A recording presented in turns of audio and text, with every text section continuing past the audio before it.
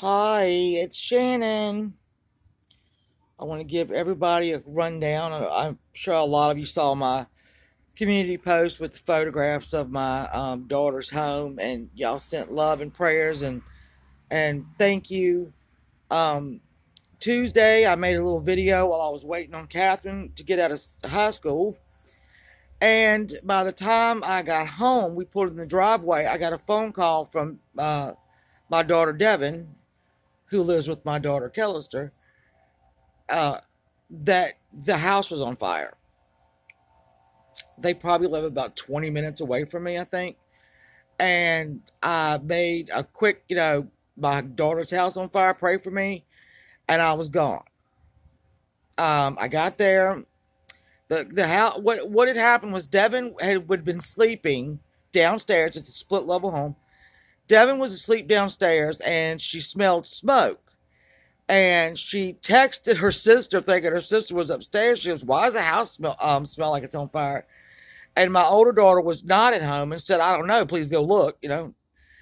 Devin opened her door from downstairs, and um, there was already smoke way down there. She ran up the uh, two stair, you know, two flights of stairs, saw the kitchen on fire, um, ran back down, got her cat, got another cat, threw him in the car, um, ran back in to try to go get the other cats, and she couldn't. Um, it was because of the heat and the smoke, and um, but she, God bless her, man, kept you know thinking she could get up there, but um anyway, so uh, when I got there, Cal- De- my Devin is just absolutely inconsolable. She feels so badly because uh, the cats, the three other cats, everybody in that house had a cat of their own. I mean, it's, it's, you know, if you saw the pictures of the house, it's a big, big house. It's not, you know, uh, but three of the cats didn't make it, and she knew that her grand, her uh, nephews were going to be upset. Um, luckily, my grandsons were not there. It was time for them to come home from school, and their dad uh, picked them up. So thank God they weren't there. Uh, but anyway, and so they contained the fire to the kitchen. However, everything in the house was ruined. Um, it's just kind of one of those things where you see this happen and it's like you can't wrap your head around it. It's uh, Devin was in shock. She had inhaled a lot of superheated air trying to get in there. Um, once it was out, they were allowed to go in and get like things they could not replace. Unfortunately, all my, you know, all of their clothes are contaminated. Um, you know, Devin just kept. Kellister is stoic. Kellister is um, she's just stoic. She, she, you know, she, the way she deals with things is not the way you know we deal with things. Talking about the rest of us, she was composed. You know, and I was composed as well. Devin was not. Um. So the kids went to their dad's and have been spending the night there.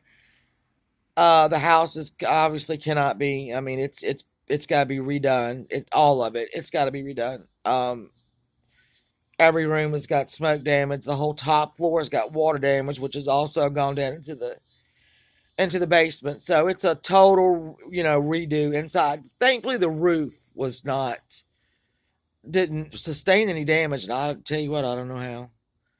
Um, still don't know what caused it. Think it was a, an electrical plug in the um, kitchen uh, to the microwave. Still waiting here on that. Um, the fire investigator called the um, Red Cross for my daughter, and she, uh, this is the kind of kid I raised. She said, No, no, no, no, no. Don't bother them. They have all those people down in Mississippi and Louisiana to worry about. I'll, I'll figure it out. She didn't want to. Anyway, so they've got a place to stay. Um, they're going to be looking for a house uh, to rent. Her insurance is going to rent him a house until the repairs are made. She talked to a contractor today that she really trusts, which was 50% of the thing because it's going to take six months to a year, they said, to rebuild it. It depended on the contractor. Um, the next day, Devin woke up with blisters on the bottom of her feet, um, very sore, still pretty much in shock. She's kind of just shut down a little bit. Um, the once, like I said, once it was out, the fire chief was talking. I told him, I said, "Can you please tell her that there's nothing she could have done to get the cats?" And he he said, "You know, a fire doubles in heat every 47 seconds." And he said, "Now, if you y'all did see the pictures, if you go up the steps, you have the living room to the very right, and then you have the kitchen." ahead of you a little over to the over to the right a little bit. And then down the hall are my daughter's and my grandson's rooms. The couch were in my daughter's room my oldest daughter's. So he told her that all that you know the plastic in the floor in the walls in the in the um, carpet turns to cyanide and that those cats never knew what hit them they you know because the smoke was already downstairs when my daughter woke up um, and she just kept worrying about the, you know, the boys. But we got uh, Ryan, my my middle my middle grandson. We got his. She got his out. His uh, his cat Fluffy. Um. Anyway, she was gonna go look for at a house today that for rent. Um, talk to the contractor today. Devin is doing better. Feet are better. She, she doesn't even know how that happened. I mean, she did when I got there. She didn't have shoes on, and uh, DJ, my adopted son, went and got her some shoes. Um,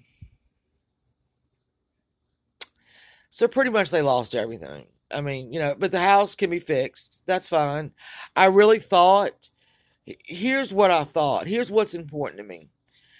I did not when I when you get a call, mom, the house is on fire and you driving for you know I, I didn't take me 20 minutes to get there i can tell you that it took me about uh, probably under 10 um and i got there and i saw devin is there and there's kellister and the boys weren't there and i could I, you know if this fire would have happened eight to ten hours earlier or later um i would have lost all of them I would have lost all of them. I almost lost Devin because she kept trying to go in.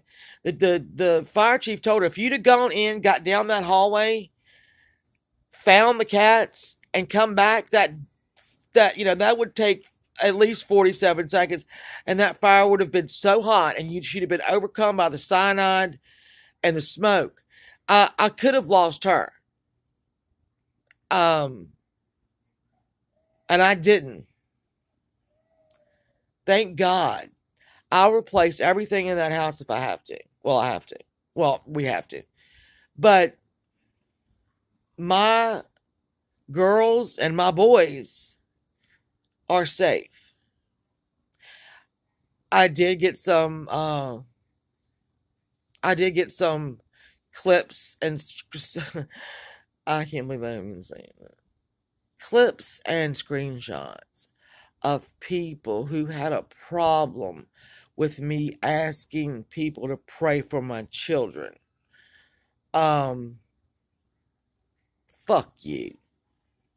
That's what I say that. Um, they're okay. They'll rebuild. It'll, it, you know. So that's what happened. Um, I hope I'm not leaving anything out. I don't think I am. If you watched nine minutes and 20 some seconds of this, thank you. I appreciate it. I appreciate the prayers and good thoughts that are being sent our way. We need them. My girls need them. My boys need them. Um, and I guess just along the way, I'll have to document the progress of the new Chateau Day I don't know. We'll have to name it now, too. I don't know. Because right now it's the Casa de Mess. Uh, but anyway, thank you for listening. Thank you for spending a little bit of time and listening to me. Thank you for caring.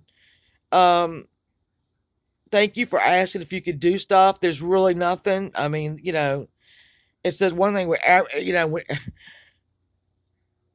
everything needs to be done, but nothing that y'all can do. And I put up so much appreciate y'all asking. I really do, and I know you mean it. I know you mean it. Um,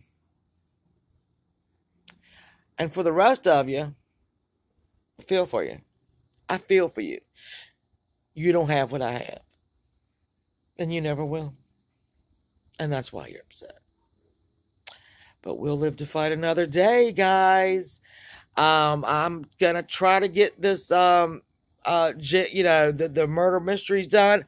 I don't know if my boys will be coming over here or what, but we'll we'll figure it out. We'll figure it out, and um, I will see you very soon. And I love you all. Well, most of you, and uh, kiss, kiss.